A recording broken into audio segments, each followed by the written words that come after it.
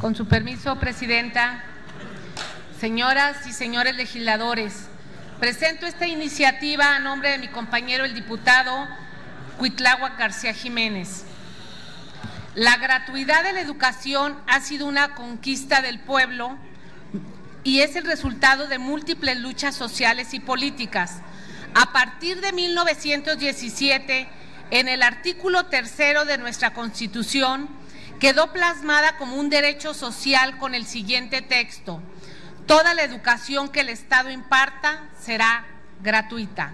Sin embargo, las reformas que se han realizado en materia educativa, principalmente a la Ley General de Educación, impusieron términos como cuotas voluntarias y donaciones, contraviniendo en la práctica la gratuidad y aún más, dicha legislación es utilizada en muchas escuelas públicas del país para otorgar la educación a cambio del pago de cuotas o su equivalente en especie.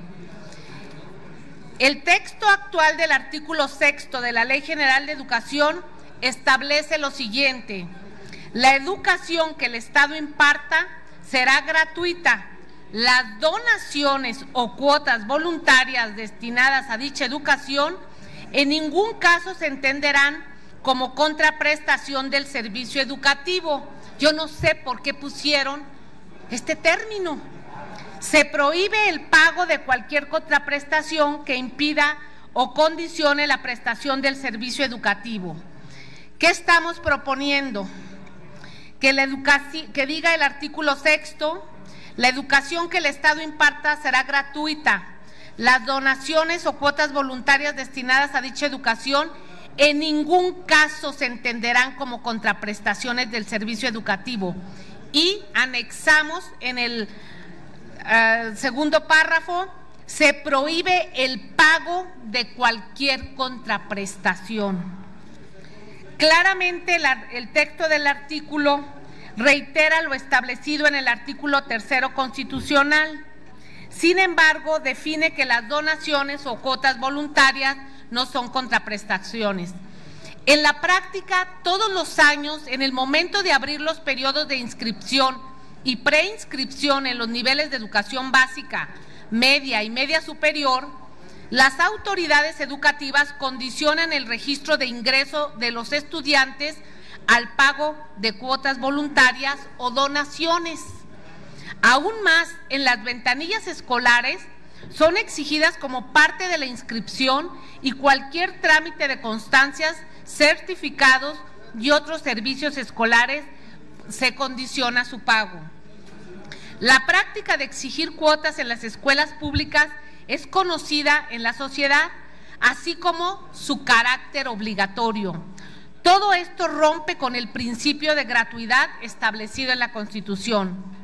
La pobreza de las familias en México ha impedido que sus hijos continúen estudiando o permanezcan en la escuela y esto se relaciona precisamente con la falta de gratuidad en la educación.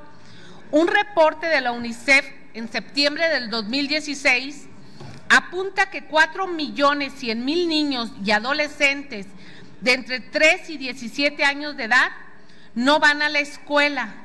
Esta situación podría empeorar ya que adicionalmente más de 600 mil están en riesgo de abandonar las aulas. Es necesario que el Estado mexicano realice un esfuerzo adicional para asegurar que el costo de la educación no se ha trasladado a las familias mediante pagos adicionales. Es urgente que las aportaciones económicas en forma de cuotas o donaciones no sean condición para ingresar o permanecer en el plantel escolar, ni existen aportaciones supuestamente voluntarias por trámites de documentos o exámenes.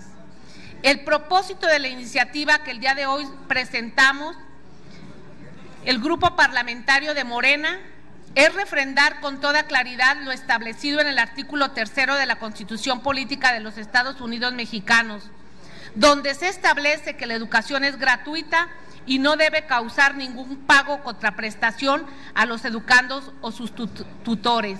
Nosotros etiquetamos recursos para el sector de educación Y esta semana escuchamos al secretario de Educación decir que todos los jóvenes que quieran entrar a la universidad están viendo a ver si pueden costear el gobierno las escuelas privadas. ¿Qué no sería más fácil hacer universidades públicas?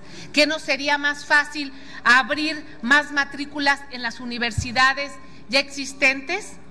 Creo que en un buen momento el diputado Cuitlagua García presente esta iniciativa y les pido que podamos aprobarla tal como está. Es cuanto. Muchas gracias.